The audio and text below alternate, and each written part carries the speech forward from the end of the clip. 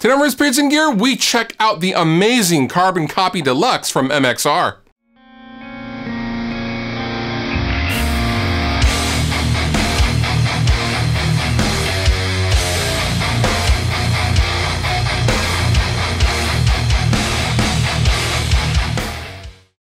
When I initially saw the release information for the Carbon Copy Deluxe, I got excited. I got really excited because I've been a longtime user of the OG Carbon Copy analog delay from MXR, and it's actually been in the uh, loop of my amplifier in my touring rig for Rest Repose for quite a long time. And even when I wasn't using it, it was still in the back taped to the top of the rack and bouncing around and getting beat up and it never failed me once. But I used to use uh, that delay because it just had this, it had the juice. It had, it had it. But there always were a few things that I would have changed about that original pedal. And I am happy to report the Carbon Copy Deluxe uh, answers them all and even solves some issues that I didn't even know I had. First and most notably, there's an amazing tap tempo feature finally on one of my favorite delays,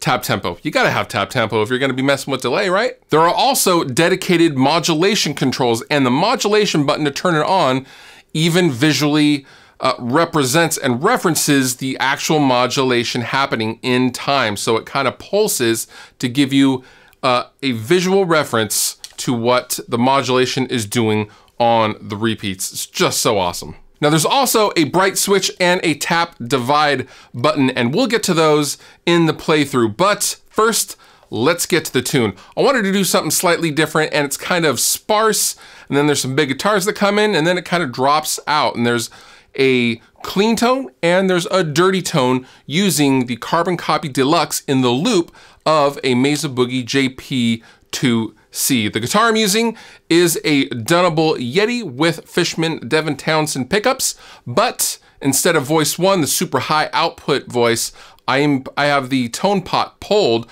for voice two, which is a much lower output paffy kind of sound. So that's what you will be hearing for this tune. Let's do it.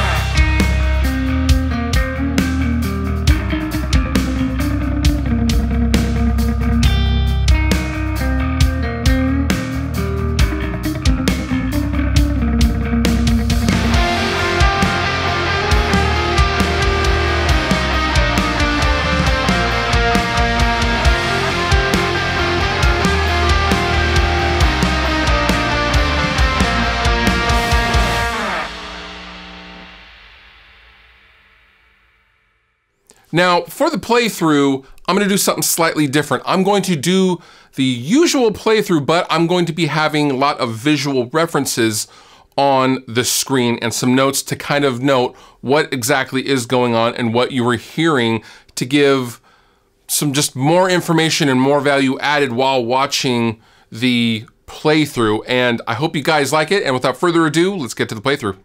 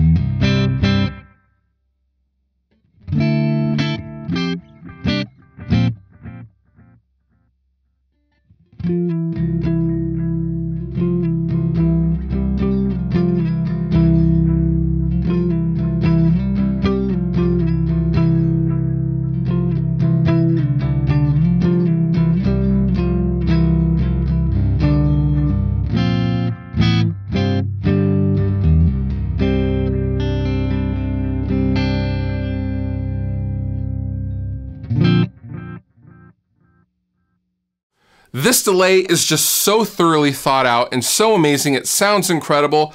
I would say, and I know this is a bold statement, I would say this is probably one of the best analog delays on the market, if not the best and most comprehensive analog delays I've I've ever played with. This is certainly, I will go ahead and say, this is my favorite analog delay pedal. This has been so much fun and it just sounds so damn good.